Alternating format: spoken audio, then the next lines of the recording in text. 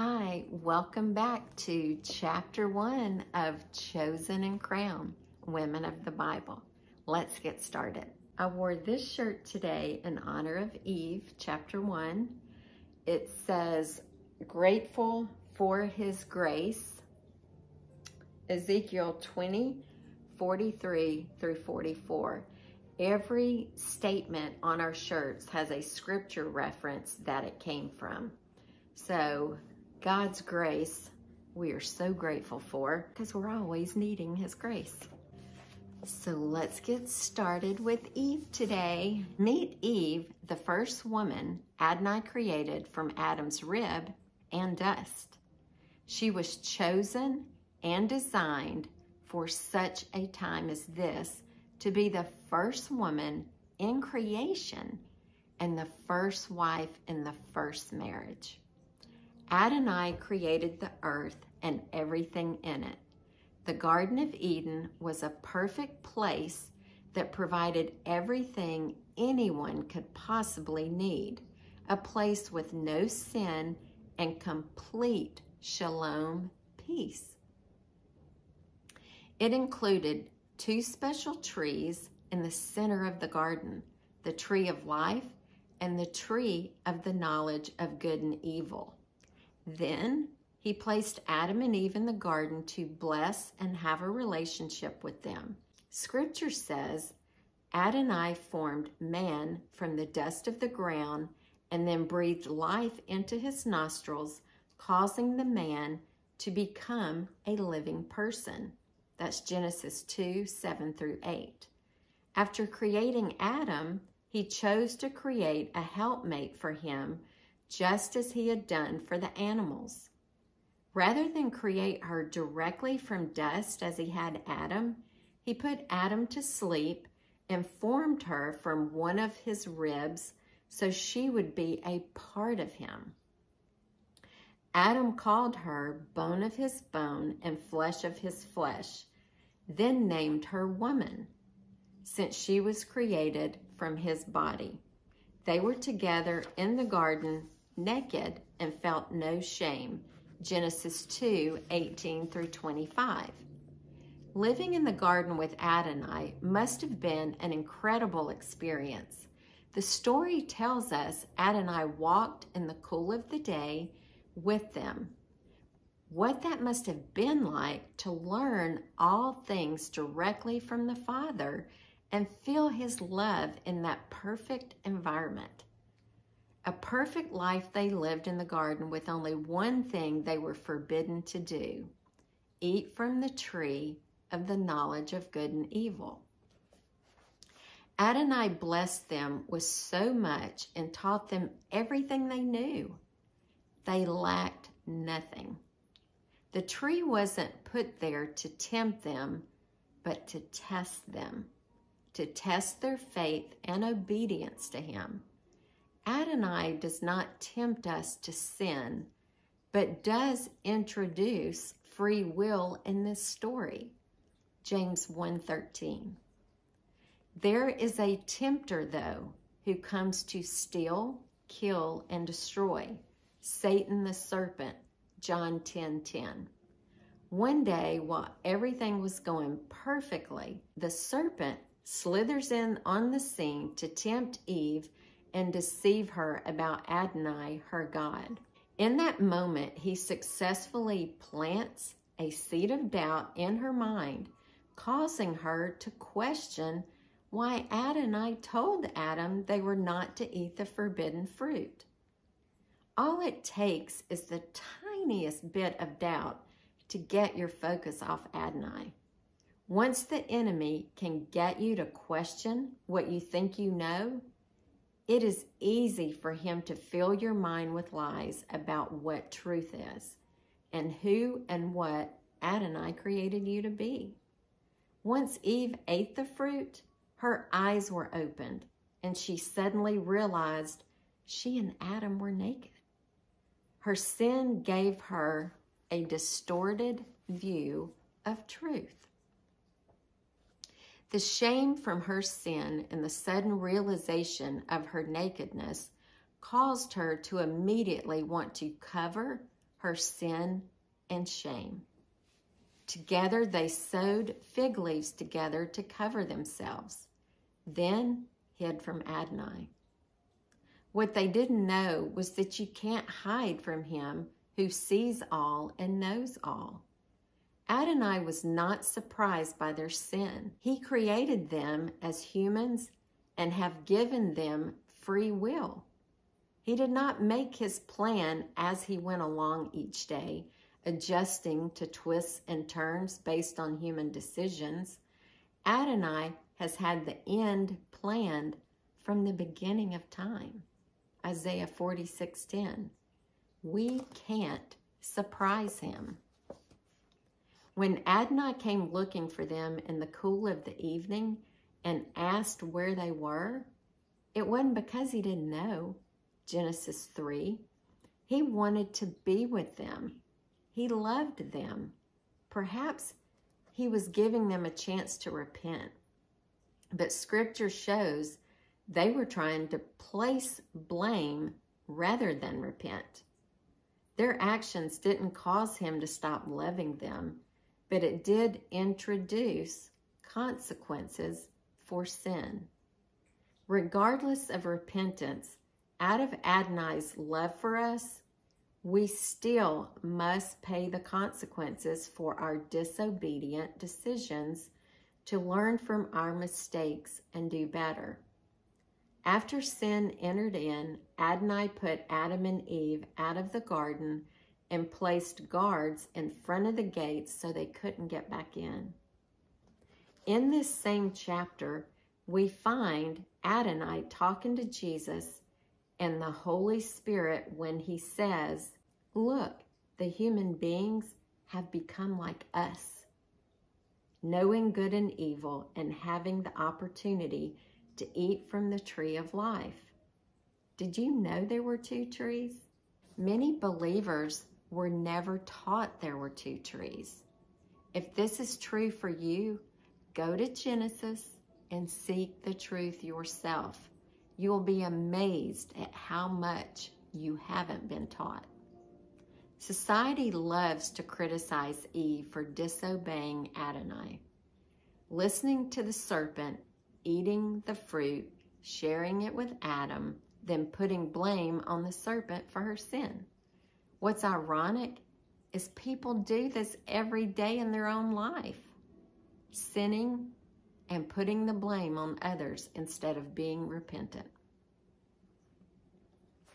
In Adonai's word, those who study it from cover to cover can learn that if they obey Adonai, they will be blessed.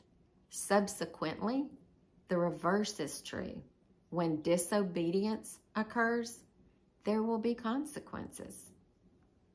There is forgiveness for repentant sin and judgment for unrepentant sin, with consequences for all sin. Let's unpack this scenario with Eve's sin and see what it would look like today. So you will know if you were doing the same thing she did. In today's society, this same scene would look like a believer who knows what Adonai expects, allows the enemy to trick them and question God's truth, and then chooses to do what the enemy has tempted them to do. Immediately, you are consumed with guilt and try to justify your disobedience by sharing it with others so you aren't alone in your sin. Sound familiar? Take a moment to pray and reflect on your life and how many times you have done the same thing as Eve. Repent, ask Adonai for forgiveness, and follow him, turning from your former ways. Having this knowledge should help us see that Eve isn't such a bad person after all, but human like the rest of us. Now would be a good time to give grace to yourself and to others who still have this truth to discover.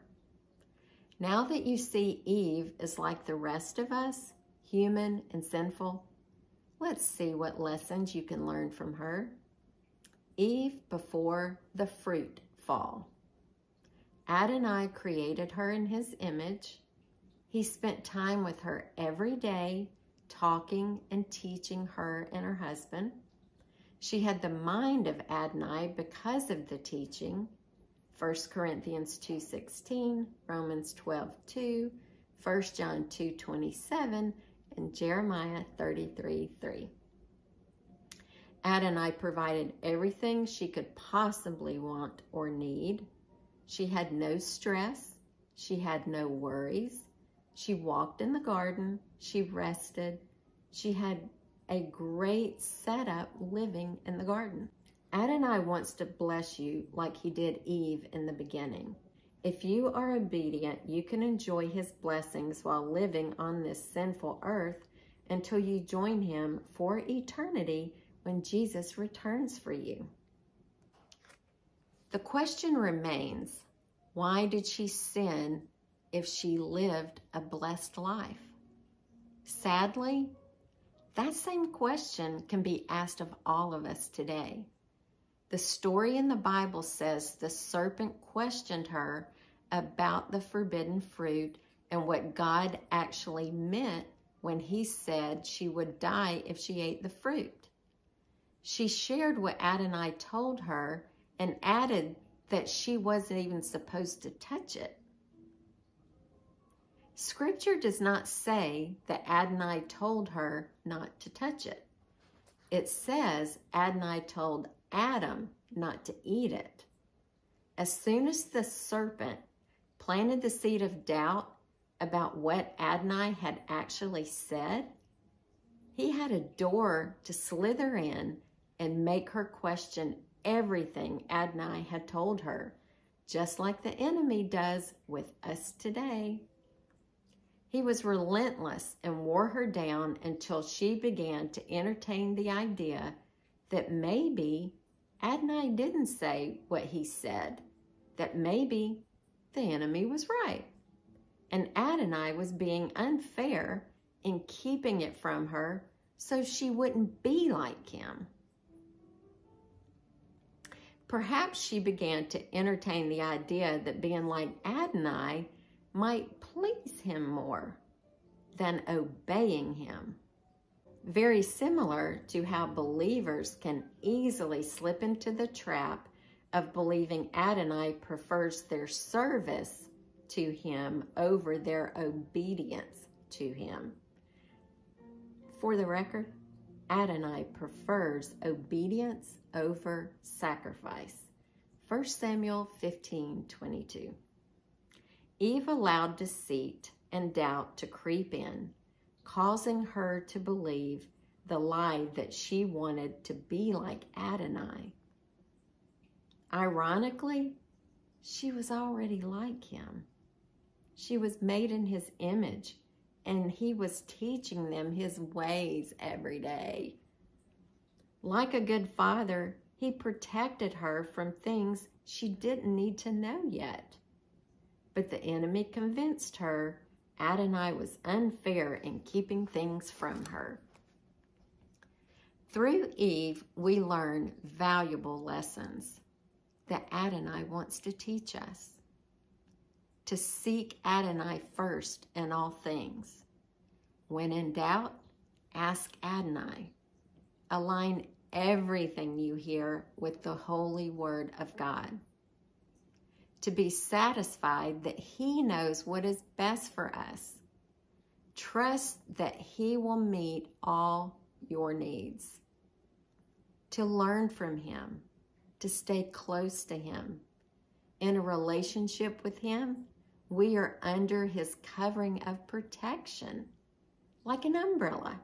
He covers us when we stay close. However, we can choose to step away from him and outside his covering of protection. This story confirms for us these four things. Adonai loves us. Adonai teaches us. Adonai knows what is best for us. Adonai is enough. The t-shirt I had on yesterday said, God is enough. Same principle. Let's pray. Thank you, Adonai, for being my Abba Father who loves me more than I can imagine with a love that is unconditional. Thank you for teaching me. Thank you for not giving up on me. Thank you for the lessons you taught me through Eve's story and how they apply to my life today. Thank you for keeping me close so that the enemy cannot deceive me with his lies anymore. I give my life anew to you today and commit that I will cling to you, obey your commands, and follow your ways. Amen. Here are the reflection questions that you can pray about and ask God to help you answer. If you have the book, you've got space to write. If you don't have the book, pray and ask God to help you answer these questions. What is something new that you learned from this story today about Eve? Number two, what is the takeaway that you can apply to your life from Eve's story? And number three, describe how this story has given you new insight from the Holy Spirit. Until next time, God bless you.